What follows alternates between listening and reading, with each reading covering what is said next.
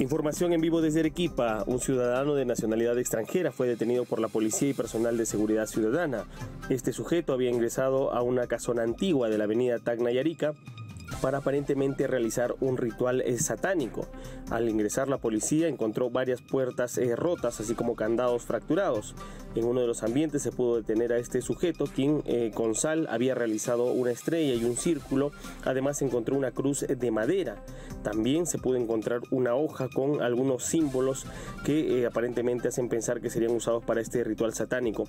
El sujeto estaba con el torso descubierto y fue detenido por la policía de eh, la comisaría de Palacio Viejo. Él ha sido trasladado para las investigaciones del caso.